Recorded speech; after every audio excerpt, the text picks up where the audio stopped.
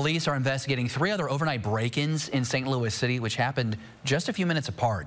The first break-in happened just after 1.30 this morning at Houdat's Bar and Grill on Kingshighway. Just 12 minutes later, three people driving a red sedan tried to break into the D.B. Cooper safe house on Gravois, but fled when the alarm went off. Three minutes later, three people smashed the glass at Espresso Yourself Coffee and Cafe on Devonshire and stole a cash box. An investigation into these cases still ongoing.